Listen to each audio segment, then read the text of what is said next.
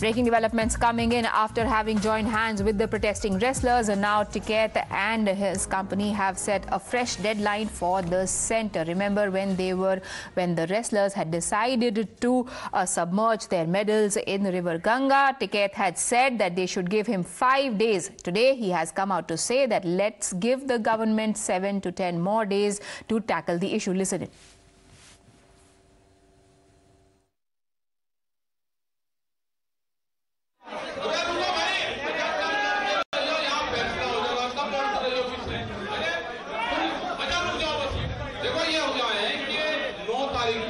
सरकार के पास में भी टाइम है, आज दो तारीख है सरकार जैसे बातचीत करना चाहती है, वो बातचीत का रास्ता अख्तियार कर ले।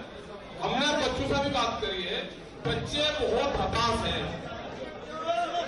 बच्चे बहुत हताश हैं। वे गिरफ्तारी से कम पे और ये समाज, पूरा देश गिरफ्तारी से कम पे कोई समझौता हमारा नहीं है। अगर कोई भी उनकी गिरफ्तारी नहीं होती बच्चों के साथ में या किसी के भी साथ में कोई हादसा होता है कोई भी होते हैं और ज़िम्मेदारी उसकी है। वे भी बहुत हताश है बच्चे। उनके परिवार वाले भी पूरे डरे हुए हैं। उनके पास में धमकी आ रही है।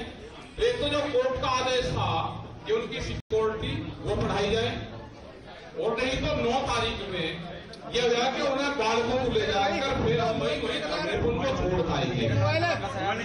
ये हुआ है और पूरे देश भर में जैसे जब किसान उस टाइम पे भी सरकार जब दबी थी जब पूरे देश भर में पंचायतें हुई थी। हम पूरे देश भर में पंचायतें करेंगे जैसे उस टाइम पे करी। सारा देश आज तैयार है। पे। उसकी गिरफ्तारी पहले है। सरकार उन्होंने भी कोई वो नहीं करा। उन्होंने कहा कि जो कल का फैसला है उसी पे हम भी सब लोग सहमत है, सब लोगों की सहमति से ये हुआ कि आंदोलन की आगे की तैयारी हमको करनी है, क्योंकि ग्यारह तारीख की भी बड़ी पंचायत शामली में है। फिर पंद्रह, सोलह, सत्रह, अठारह, चार दिन हरिद्वार में बड़ी पंचायत रहेगी। और उसके बाद में भी अगर नहीं कुछ होता तो पूरे देश भर में पंचायतें चलती रहेगी। और ज्ञापन देते रहेंगे जो और इनके नेता हैं, जब तक वो भी आ जाएँगे, इनके नेताओं को भी सवाल जवाब ये रहेगी जब ये गाँव में आएँगे, इनसे क्वेश्चन करेंगे, भाई उस वाले केस में क्या हुआ? ये सारी चीज़ें उसके बाद में तय होती चली जाएगी ये। आंदोलन जो भी होगा, वो शांतिपूर्ण तरीके से अपना आंदोलन करें। हाँ वो तो वो तो केस में ही। जो बच्चों पे केस है, वो तो पहली प्राथमिकता है कि हमें भी सरकार के रूप का पता चल जाए कि सरकार ठीक है, उनसे केस वापसी ले। ये हमारी पहली प्राथमिकता होगी और उसकी गिरफ्तारी दो चीज़ें हैं, और नहीं तो नौ तारीख से आंदोलन आप अपने तरीके से चलाएँगे।